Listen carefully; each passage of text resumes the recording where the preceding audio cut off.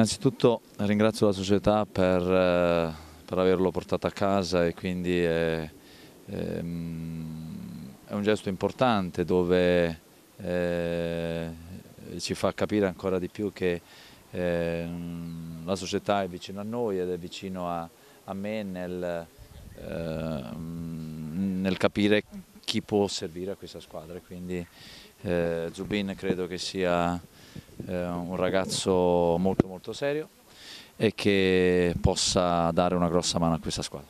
Sì, eh, come ho detto a lui, eh, avevo fatto la battuta, adesso sono cavoli amari, per me e per te.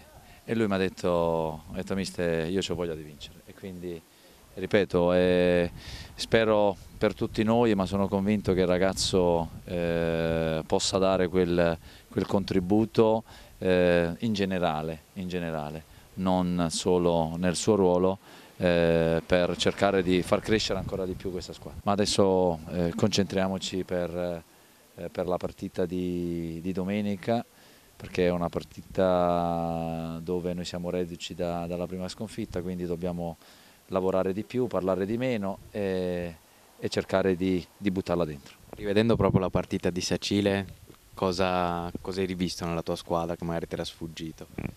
No, ho visto quello che avevo visto domenica e che sono quelle partite che nascono, nascono anche un po', un po', strane, un po' storte. Stai 48 ore e non fai mai gol, poi alcune partite bastano due minuti per poterla, per poterla sbloccare. E anche questo deve fare un attimino ci deve far pensare perché troveremo anche altre partite dove eh, si crea molto, si finalizza poco e c'è il rischio di andare a prendere gol.